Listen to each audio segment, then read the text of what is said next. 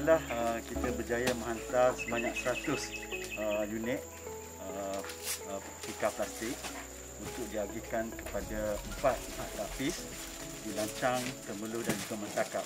So sekarang ni kawan rakan-rakan sekalian uh, sedang uh, menampal poster misi bantuan kasih kepada setiap pika yang kami berikan.